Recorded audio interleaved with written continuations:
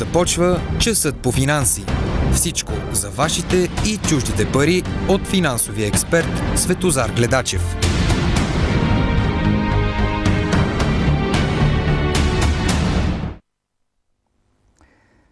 Добър ден и здравейте! Започваме част по финанси и новата, как така да я наречем, есенно-зимна година ли новия старт на предаването след лятната почивка. Това е първото предаване. Затова ви пожелавам щастие, здраве и успехи, защото всички имаме нужда от това нещо. Най-вероятно и есента ще е бурна, и зимата също. От тук нататък ни чакат още по- интересни или различни събития, или неприятни, или неприятни, затова казвам интересни.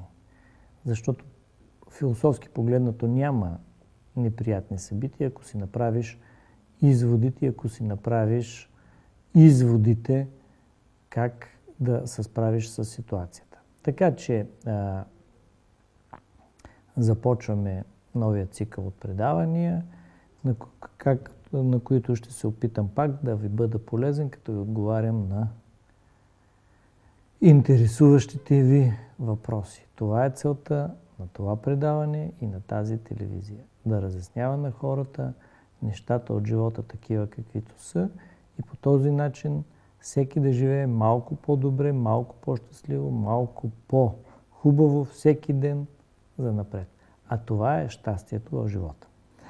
Така че на изписания телефон може да задавате вашите въпроси, за да почнем с да разнищваме темите и а, проблемите, които ви вълнуват. А, може би, както редовните зрители знаят, а, предаването е в понеделник на живо от 11 часа до 12, с повторение вторник от 9 и 10. По изключение днеска сме във вторник, защото по изключение няма нужда да обяснявам причините. Откъде да започваме? Моля първия зрител да зададе темата от политиката, економиката или економиката как влияе на политиката или политиката как влияе на економиката. По-нататъка може би ще говорим за изборите на кметове, защото това е много важна тема и зависи от всеки един от нас. И както винаги става в този живот, като изберем някой, после съжаляваме и после вика сме защо така. Ами, като гласува, къде беше? Или както в една стара мъдрост, тя не е мъдрост, де кога яде кебабчетата, не рева. Така че така е и с политиката. Ето и първия зрител, да чуем, да видим, той ще зададе и темата. Да, моля. Алло. Да, моля. Здравейте. Здравейте. Как виждате нещата в България? Ще се изправили економически как ще коментирате? Очаква ли се много често се говори за рецесия, а дали въобще от световен мащаб? И виждате ли края на тези економически групировки, които завладяха България, владеят българската економика и да не забравяме, че една голяма част от българската економика е в руски, сръбски и тем подобни мафиоти, които ощетяват българската държава, крият данъци. Според вас това ще продължи ли дълго? Всичко добро. Благодаря. Вие зададахте много въпроси. Това са цели теми за цели предавания. А, за съжаление, за по- отговорите на повечето въпроси няма да ви харесат. А, ще почна от единия от темите. Значи, ще почна по-кратките отговори. Рецесия и дори криза ще има. В предишните предавания в предишните години съм говорил за това нещо и още 2017 година и в това предаване, и в публичните си лекции, и в списани повестници и сайтове, съм казал, че ориентировачни някъде около 2020 година ще бъде тази рецесия. Специално ще имаме цяло предаване да обясня защо точно 2020, от какво зависи, как зависи и така нататък. И помислете си само, 2017 година сме 19 три години по-рано.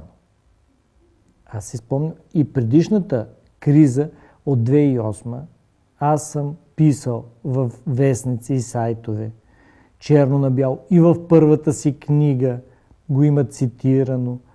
2005 година. Как ще протече кризата от 2008 година. Така че кризите са прогнозируеми. И те са напълно нормално състояние на световната економика и на българската също. Защото българската економика е интегрирана, свързана с световната економика. И ако се дигнат, ето сега, както всички следите, цените на горивата, заради това, че 10 дрона, 5 оцелили и 5 неоцелили са атакували Саудитска Арабия петролни а,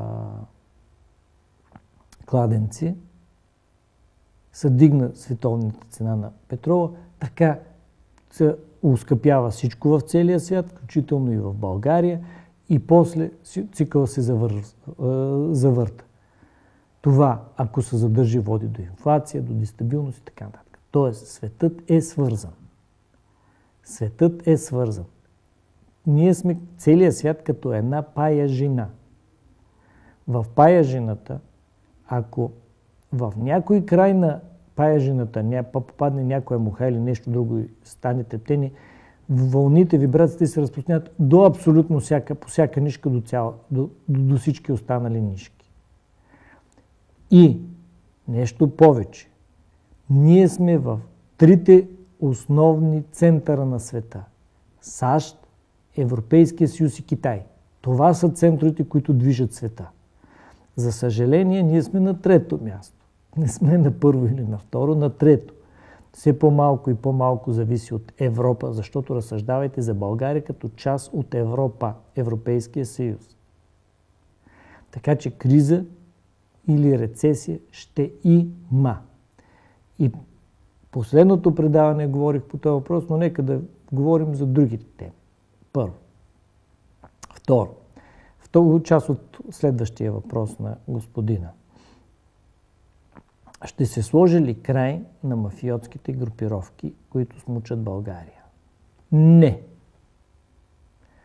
Аз съм радетел, ако не ще да казвам силни думи, ако трябва революция да се дигне, това да се направи, за да се изкоренят тези групировки.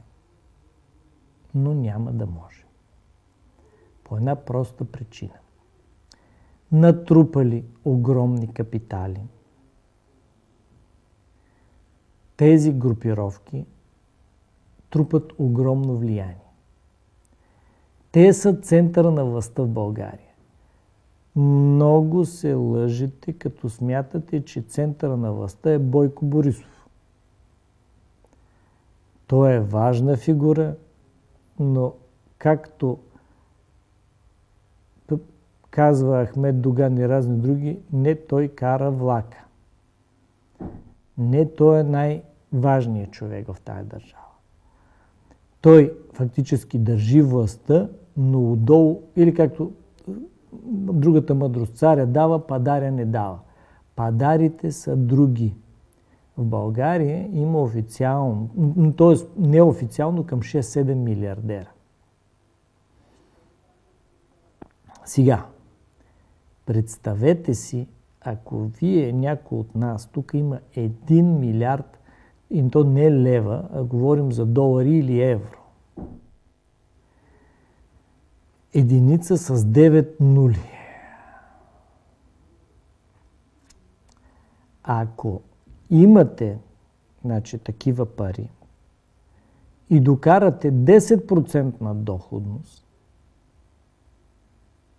това са 100 милиона на година. Само приходи. Печалби. А искам да ви кажа, че в енергетиката, където са съсредоточени мафиотските монополи, мафиотски го казвам в кавички, защото то не е точно така, са печели много повече. Печели са не 10%, 20-30 пъти. Хората не си играят на по 100 милиона. Значи има фигури в българския живот и бизнес, групировки да ги наречем, където си играят с 100, 200, 500 милиона. Това, това са тяхните сделки. Ако аз и вие отидем на пазара и се радваме, ако купим доматите вместо по 2,50 по 2 лева или по-малко и се смятаме за бизнесмени или за щастливи, те ако направят под 100, 200, 500 милиона на година, не са. Тоест, такива са тяхните сделки. И сега, къде могат да се правят такива пари в България? Енергетиката. Незаконните бизнеси, крадене на ДДС, акцизни стоки и други. Най-много са печели, като не плащаш на държавата акцизни стоки. За да... Кои са те? Първо място петрол и техните деривати, цигари и алкохол. Вие си поставете, аз няма да ги назва, вие си помислете кои са в тези сектори. Така. За да не те хване държавата, ти си толкова голям, ти уреждаш своите хора, свои хора, платени хора, твои хора на заплата в държавните учреждения и предприятия.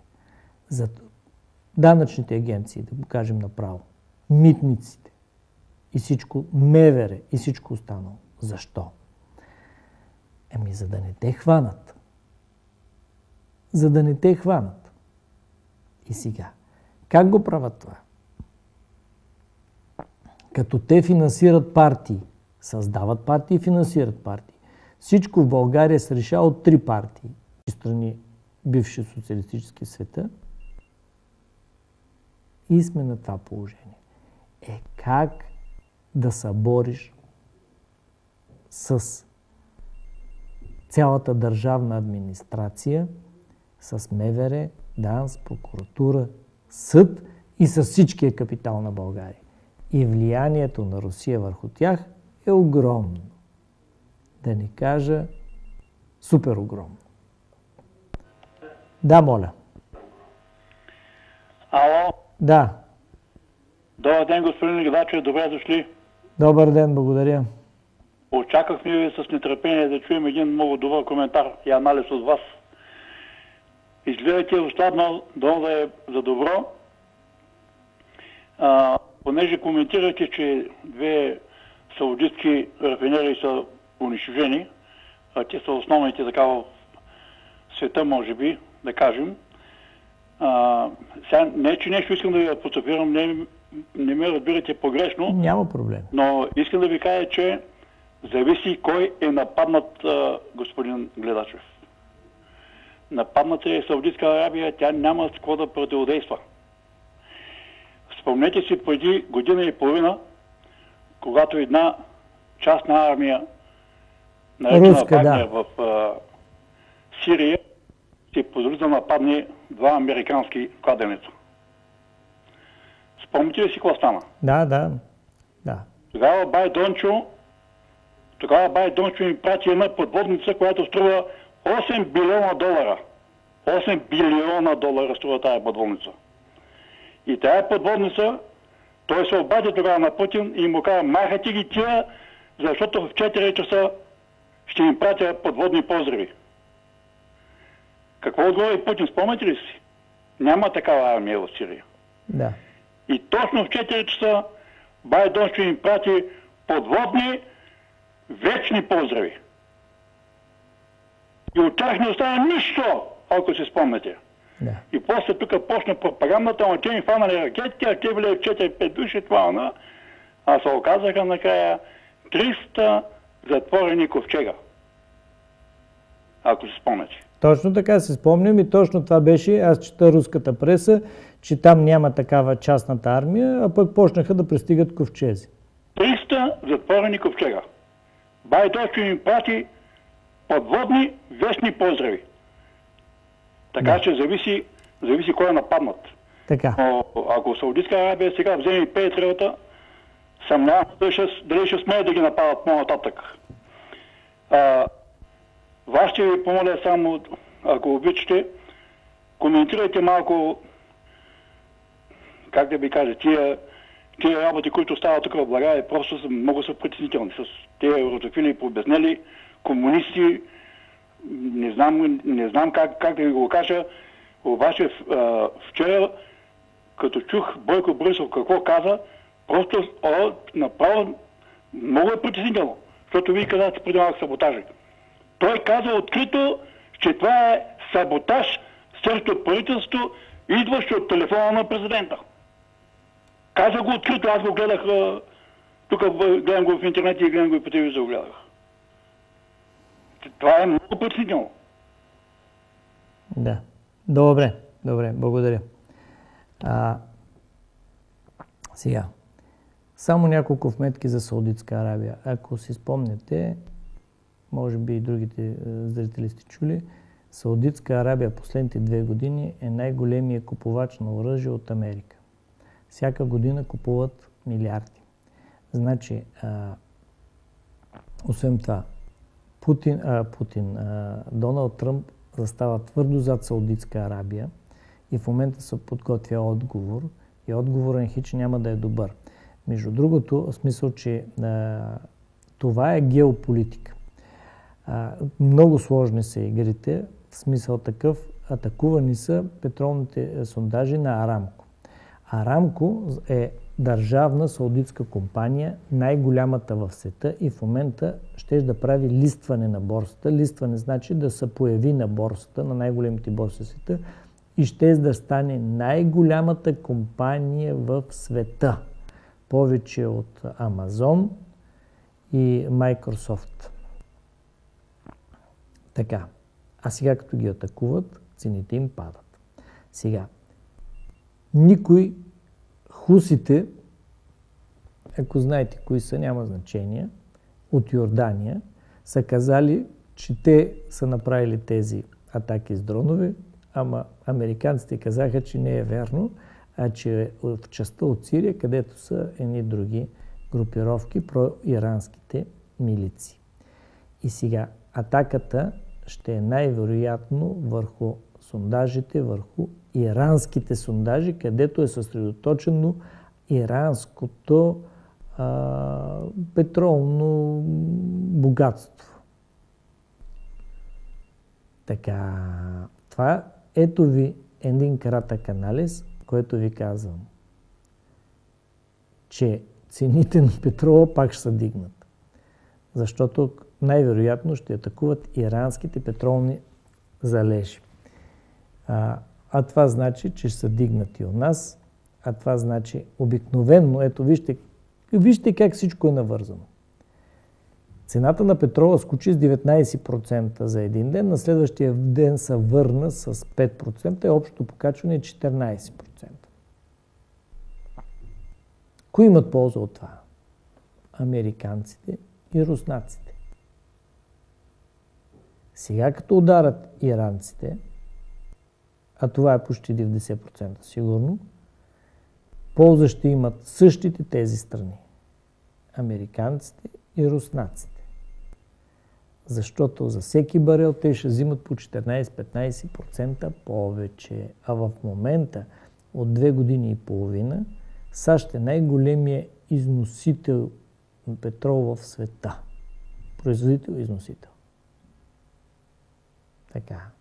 Това води до покачване на цените. Обикновенно правя скобка. Цената на газ, дизела и бензина в България в момента трябва да пада. Зимните месеци трябва да пада. Есените и зимните. Противно на всякаква логика, но така е. Сезонни колебания се наричат. Така е от години, от десетилетия, от, откакто рафинерията е частна. Сега няма да паднат. Очудващо за цената на петрола, а това значи, че като не паднат цените, ще се увеличи, макар и с малко, на инфлацията в България и в европейските страни и навсякъде. А нашите цени на дизел и бензина са такива, все едно всеки ден се бомбардират петролни сондажи. Тоест те са много по-високи, отколкото трябва да са, отколкото са в други страни. Да, моля. Да, моля. Здравейте, господин Гайдачев. Здравейте. Ми радвам се да видя пак на екран. Благодаря. Пожелавам ви здраве и успехи.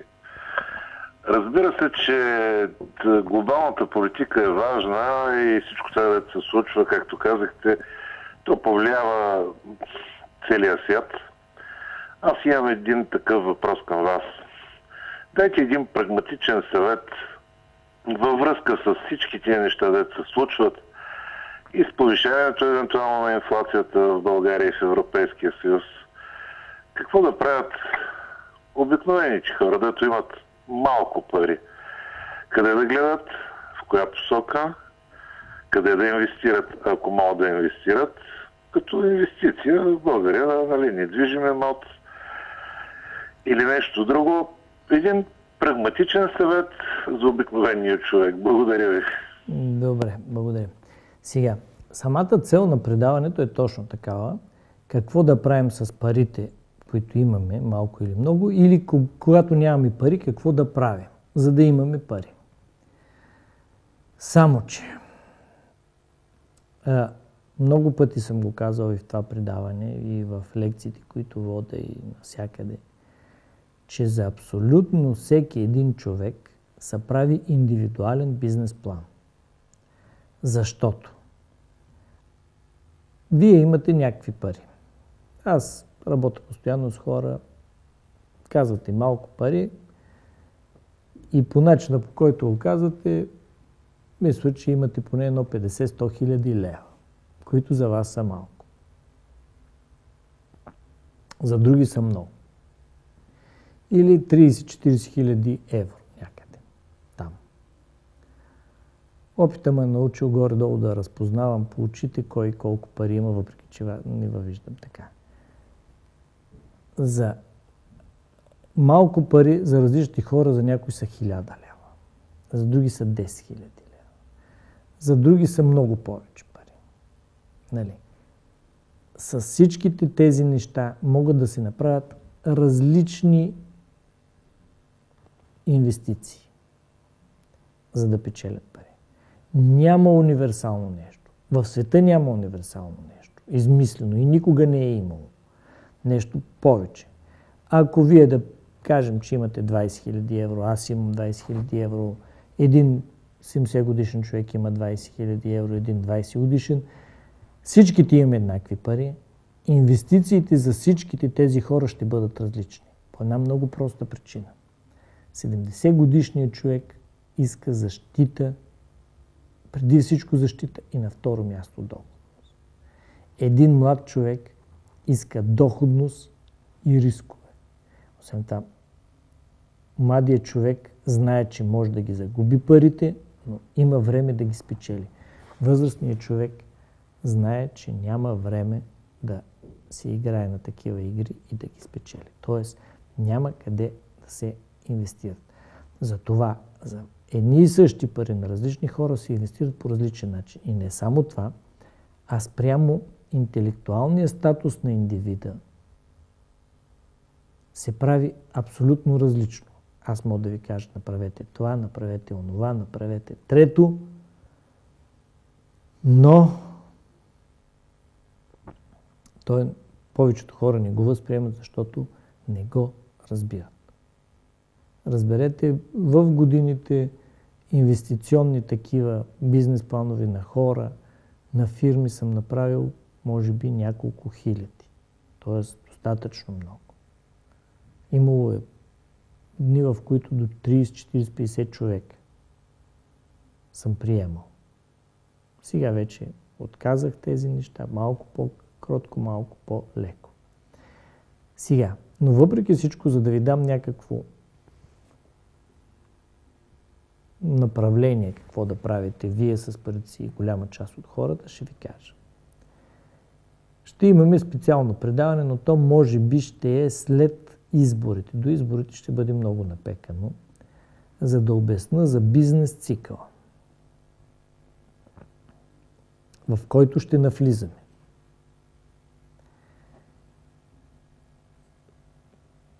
Бизнес цикъл е криза, депресия, оживление и подем. Това е класическия бизнес цикъл. В съвременния 21 век то не протича така. Или ще го обясна по друг начин. Един човек, като се разболее, той има втрисане, повръщане, стабилизиране, после леко оправяне и после пълно оправяне. Така протичат и економиките. Ние сме в момента в предишната фаза, преди кризата. Или може да бъде рецесия, т.е. съвсем малко намаляне. Две последователни тримесечия намаляване на брутния вътрешен продукт. Такива кризи почти има в Италия, частично в Германия, но Италия, примерно, е в много по-лошо състояние. В момента преди криза или рецесия, това, което трябва да знаете е да спестявате пари или да си пазите парите. Сега не е време за покупки. Не сега е времето за покупки. Нито на дълготрайни неща, нито на средно големи неща. Сега ценни са парите по време на кризата или рецесията, парите ще са много нужни, много ценени. Спомнете си предишната криза, тази няма да е същото копия като предишната.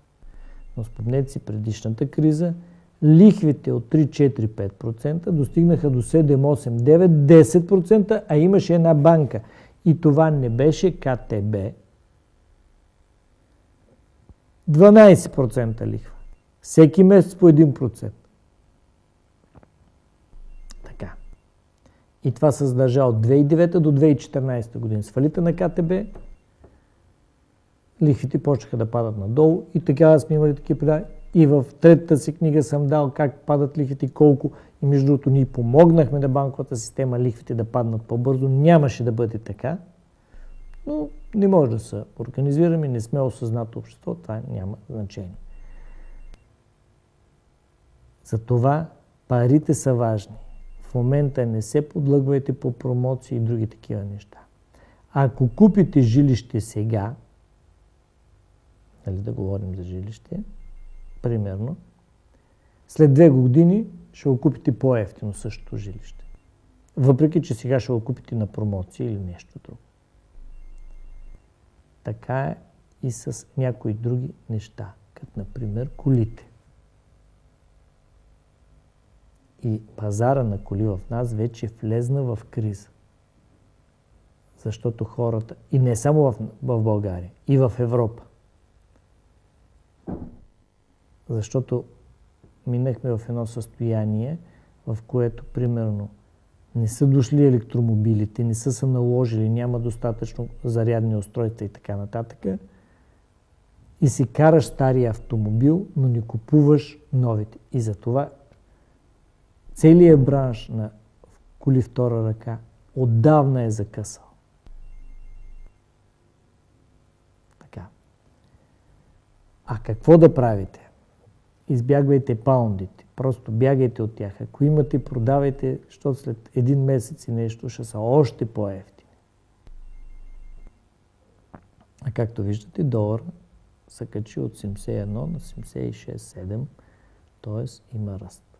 Ако си спомняте, Цели предавания сме водили дискусии, в които съм обяснявал. Всички казват, най-големия дълг в света е американския, пък гледате ли той долара, що се дига? Ими защото има логика да се вдига. Да, моля. Да, моля. Ало, Да. а, малко с гласа не съм добре, Григоро се обажна. А, явявате се на- точно в този момент, когато стават а, в нашата съседка и малко по-надолу решаващи срещи. Имам предвид срещата на Путин с а, Ердоган. Иран и турския президент. А, и ако вие преди да е излезъл комуникето от тази среща, бихте ли рискували да направите един анализ тази среща политическа ли ще бъде или економически резултати ще гони? Защото ние видяхме, че едно изпреварващо действие на а, Иран с тези дронове и това говори явно за някаква съгласованост по тази ос, което ме на- навява на така известен песимизъм, че изтървахме питомното, защото те вече имат а, на собствена територия ще, и ще имат, и не ти имат, а другите ще имат ядрени електроцентрали. Е, това искам в изпреварващо да си позволите един анализ. Економически ли са или политически тези срещи? Добре. Добре. Така. Сега, економиката е знак за равенство с политиката. И обратното. Щом искате тая тема да захванем, ще я захванем. От гледна точка на Иран, представете си Иран. Аз, меко казано, ненавиждам всички режими, включително този на етоласите в Иран. Самите иранци го ненавиждат. Но е толкова силен режима, че няма как да бъде разкаран по демократичен начин. И това е вече от 80 и някоя година така. Страшна корупция, страшна... а, тоталитарен режим, който при Тодор Живков даже при нас е бил много мек вариант. Тук е много тежък вариант. Но армия и са 80 милиона и всичко е много стиковано. Така. Но помислете, ако сте вие ира- ирански водач, сега ли бихте ударили Саудитска Арабия? Точно по време на срещата на Ердоган, Путин и Иран, когато трите страни се опитват да правят нещо. Какво? Да се защитат. Защо? Защото и трите са в кавички, да го кажем, врагове на САЩ. Иран е мишена за война още от, може би, 15-20 години. Веднага след Садам Хюсин трябваше да отиде и Иран на мушката. А ако искате и това ще говорим, защо Иран режима трябва да падне, защото ако са разровите всичките, защото Иран финансира всички основната част, големите туристични групировки и в Палестина, и в Газа, и в на други, други, други, други места по света. В Ливан, навсякъде, туристично. Има пари. Не е, не е много богата държава. Значи те в последните години водат се надолу и се надолу. Но понеже имат голям брутен вътрешен продукт, имат доста петрол, могат да си позволят да финансират тая дестабилизация. САЩ от години, още в предишните, Барак Обама имаше план за удряне на Иран и за справяне. Но целта е, че може би ще стане Трета световна война. Защото Иран не е мал, лесна мишена и малка мишена. Така. Ако сте иранец, Аятолах не е обикновен иранец, от шефовите, той е само един,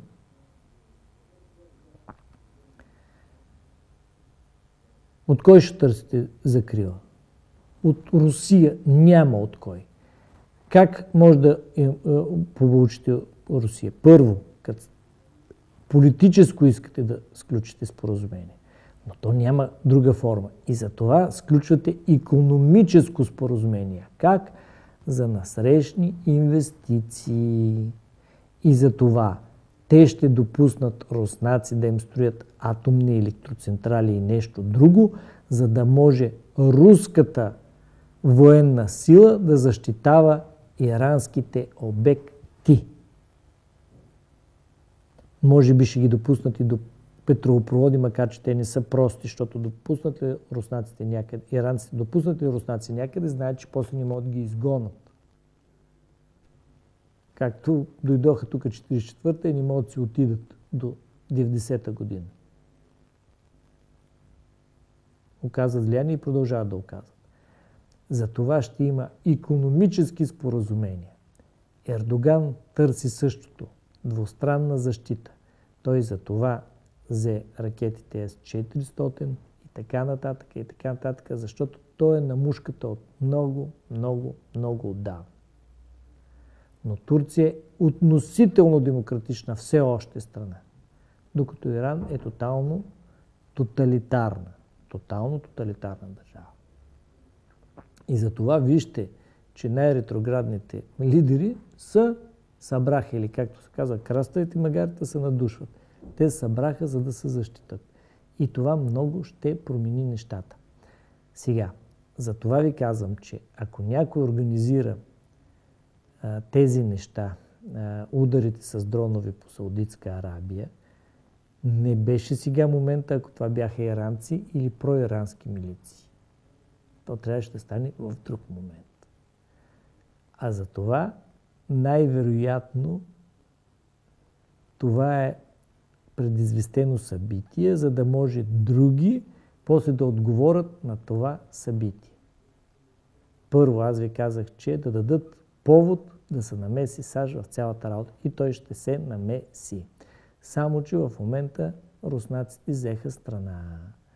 И ще се направи патова ситуация. Въпреки всичко, Тръмп е достатъчно в скобки, да го кажем, див, за да предприеме рискови действия, включително за военни действия и удари по ирански сондажи. Не само защото да ги накаже, не само защото да си дигне имиджа, не само защото който удря, а това бяха Буш и другите, който удря, води военни действия, после бива избиран, а той иска да бъде избран следващата година, вече почнаха над преварите в САЩ, предварителните. Той иска да бъде избран и знае, че направи ли военни удари, той ще бъде американския герой. Най-първо. И третото и най-важното, цената на петрола като се дигне, американските компании ще печелят най-много. Виждате ли как се заформя целият кръг? И го отнасят винаги дребните и бедните. Така че ще има атомната енергетика не е бъдещето на света. Това да ви е ясно. Но атомните централи са форма на защита срещу евентуални удари на други държави. Това е. Само, че а, ние Нямаме нужда от атомна енергетика, нямаме нужда от никой да нас защитава, в смисъл НАТО да нас защитава, да не нас защитават преди руснаците и това е. Атомната енергетика, колкото да е чудно, няма бъдеще. За енергетика сме говорили много и ви казвам, че не си спомням кой учен, мисля, че беше французин, който иска в Сахара, мисля, че беше около 1905 и 10 година, преди 100 години и повече, да му дадат колко хиляди декара, хиляди декара пустиня и той ще направи такива инсталации, че ще има ток за целия свят. И в момента цената на фотоволтаиците така пада, променя се цялата структура на света. Може, от може да нямаме нужда от петрол изобщо. Разберете го това нещо вече може, вече в Китай се строят по-мощни от атомни електроцентрали по няколко мегавата фотоволтаични централи и струват 10 пъти по-малко. Спомням си, в момента даже мисля, че е построена най-голямата в Китай, която е колкото АЕЦ Козлодуй и струва милиард, милиард и половина, чисто ново долара.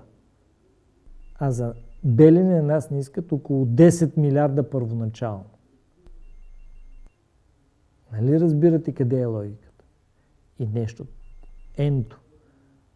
С атомните радиоактивни отпадъци никой не се е справил до момента. Те се складират и се съхраняват и разни мафиотски фирми, италиански и не само, ги фърват, фърлят, хвърлят в морето. На много места в морето има радиоактивни разнасени лъчения, а това, което много пъти съм го казал, че една молекула плутоний, който се образува при атомна реакция, може да умъртви човек. А полуразпада на плутония беше, мисля, 24 000 или 26 000 години. 24 000 и нещо години. Няма изчистване от това нещо. Ако следете и другите събития, да видите, че руска подводница, която беше потънала покрай Норбежко море, постоянно изпуска радиоактивно, защото просто контейнерите след като 20-30 години корозират, корозират и почват да изпускат. Оттам троват морето, оттам троват рибата, оттам ние едем, почваме болест и виждате ли всичко върви към един много тъп апокалипсис. Сами се изпотравяме. Да, моля. Здравейте, господин Гледачев. Здравейте. Съединявам се към благопожеланията за идването и отново на екран на останалите зрители на нашата телевизия. Благодаря. И друго. Едва ли някой се спомня от младите зрители, може би някои от тях не са били родени, когато Штатите по времето на президента Картер към неговия край на президентство направиха опит да спасят заложниците от Американското посолство в Техеран, които аятоласите направиха една голяма глупост да го вземат. Това ще им бъде обица до последния им ден. И ако се стигне до такъв конфликт, до такъв конфликт, това ще бъде капката, която ще претури. Защото американският народ бави, но не забравя, както и руския народ, руските народи. И второ, нека да си спомним мъдростта на съветските ръководители и тогава, които чрез притежаването от тях електронно оръжие, т.е. за блокиране на системите за управление на американските самолети, предизвика сблъскване там на хели... спасителните хеликоптери, които летяха и самолетите за Иран и в пустинята катастрофираха и тогава се отложи операцията. Защото това може би ще застане световен конфликт, а съветските ръководители тогава специално не го желаяха този конфликт. Нямаха предвид. Това е моето скромно мнение за и преценката за тогава. Но сега вече ситуацията е друга. Благодаря ви за вниманието. Да. А, захванахме този проблем. Всичко започва от Сирия и оттам интересите в Сирия, за да се разплете възила, трябва да се разплете и възила Иран. От много отдавна, аз ви казах, може би 20 от 90-те години, а, след като се разправиха с Ирак, тря, тря, нямат решение за Иран. Значи, опитват се, но Ирак е едно, Иран е много по-голям, по-мощен и по-организиран. Директна атака няма, не може да има и няма как да има. Другото, което щях да спомена, ще видите, че иранците ще купят и руски защитни ракети, пак С-400 или нещо друго. Тоест, Русия има страшно нужда от пари. Страшно нужда от продажба на стоки. Тя няма какво, освен военно оборудване. Затова тя продава на Турция, ще продава и на Иран. Американците пък ще спечелят, защото от тук саудиците ще купат още повече оръжие. Миналата година те купиха страшно, не си спомням колко милиарда, ма толкова милиарди купиха. Така че а, трябва да, а, да видите, това е економиката и политиката е едно нещо. Съвса, най-вероятно, ще изкажа едно съждение, а, непряко разберете, че най-вероятно са замесени евреите. Те са подтикнали някоя от милициите и така нататък да изпрати тези дронове, финансирали си ги и така нататък. Но това никога няма да се разбере. Разберете го това нещо. Те работят с много ходове напред. И те са най-печелившите в този момент. Затова Иран няма нужда, но когато има напрежение, трябва само искра и някои хора, в кавички или скобки да наречем евреи или еврейски интереси, удобно, услужливо подават искрата към огъня. Това е. И ще видите поредица от разрешавания на а, конфликти. А, но в островата е Сирия, разделянето на Сирия, системите за влияние върху Сирия, а самата има го в интернет цяло предаване, има съм го качил за войната в Сирия, е заради петролопроводите от Иран през Сирия до Средиземно море и заради а, а, това, че в а, ландшафта в а, крайморската зона на Сирия, Ливан и Израел беше намерен нефт и газ. И войната в Сирия вече, мисля, че 6 или 7 година, от няколко години евреите, израелците добиват и изнасят нефт и газ, но всички тия други страни не. Както знаете, че и Ердоган започна сондажи в Северен Кипър, където е държава, която е призната само от Турция и от никой друг в света. Тоест няма такава държава. Но там също има петрол. И това, което говорихме за петрола, атомната енергетика и другите енергетики. Петрола няма бъдеще. Няма. Но как като са замесени толкова много интереси, как изведнъж да спре.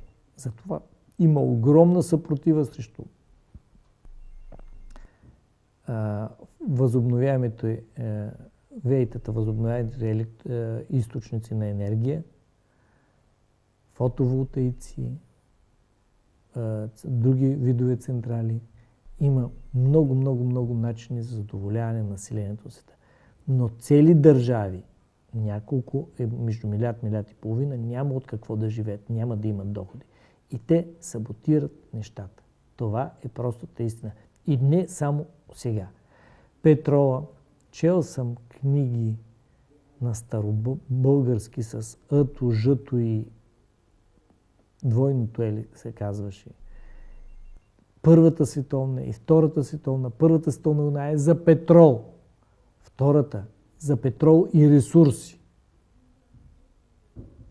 За това е. И сега тия деца взели ресурсите, как да се откажат от тях? Ми, че разберете, първо да вземем Русия. Ми, че тя няма...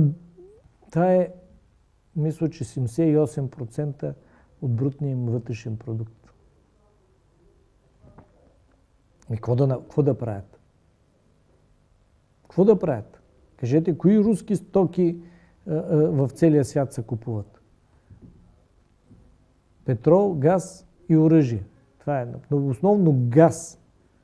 Това е тяхните оръжия. Сега. Ми Саудитска Арабия. Ми Иран. Ми Кувейт. Ми другите. Затова вижте арабите, Дубай, има в интернет снимки преди 30 години едни пясъци, как се застроява, застроява, застроява. Защото те, всичките от арабските страни, богатите арабски емирства, тяхните и управници и други учат в Европа и в САЩ, основно в САЩ, пращат си децата да учат там. И те виждат, че петрола няма да е вечен. И затова искат да печелят нещо. И сега Дубай печели от туризъм, от строителство и от други неща повече, отколкото от петрол. Да, моля. А, спомням се на времето, когато страните от ОПЕК правиха дъмпинг на цените на петрола. И тогава един економист, президент на щатите, измисли много лесен начин. Увеличи държавния резерв, който осигуряваше а, на щатите, мисля, че 4 месеца без да внасят отвънка никакво горило, грам горило. Пък да не говорим за запечатаните кладенци. И сега си мисля, че ако някой смята, защото взеха решение президента на щатите, Тръмп взе решение да отвори държавния резерв. До сега го отварял три пъти. Не той, други преди него. И сега си мисля, че тази държава е на, как да кажа, неограничени възможности. Просто не може да си представим, тя поема ангажимента на място на тези 5% нанесени щити, да ги замести без никакви деца, вика, предварителни условия политически. Така че а, криви ще изгледат, ми се струва, сметките на Иран, като подпомагат тези талибани там, как се викат. А, ако греша нещо, кажете, допълнете вие за тези случаи. Да. Да имаш държавен резерв и валута е голяма работа. Да. Благодаря. А, Рокфелер, мисля, че той беше казал, и Ротшилд, Ротшилд беше казал, когато а, държавната, а, Централната банка на Съединените щати е получастна. Тя е много със специална структура, федерална резервна, федерална резервна система се казва. И тя е национализирана, денационализирана, мисля, че 13, 1913-14 година, там в този период. Става частна. И тогава хората казват, а, че, а, нали, че няма нужда да печелиш, да имаш петрол, злато, диаманти, когато печаташ парите. Това е най-важното нещо в целия свят. Така че, който печата парите, той управлява света и затова в света в момента 92% от всички разплащания са в долари. Иранци, иракци, сирийци, те, дето най-много мразат, убития Осама Бен Ладен и други – и те спестяват в долари, и те се разплащат в долари, и всичко правят в долари. Така. За, а, така че а, не само, че държавният резерв на Съединените щати е огромен, едно, но второ, а, в Мексиканския залив постоянно има петролни танкери пълни, без да са продадени, няма на къде са напълнени и стоят на рейд, няма на къде да тръгнат защото няма на кой да ги продадат. Аз съм говорил в това предаване, че а, за да купиш, като купиш а, еди колко си милиона, еди колко си тона нефт, не милиона тона, колко, като купиш един танкер, ти дават и колко газ безплатно и даже ти плащат за гъста. И това е шистовата революция. Така че Съединените щати имат огромна полза това нещо.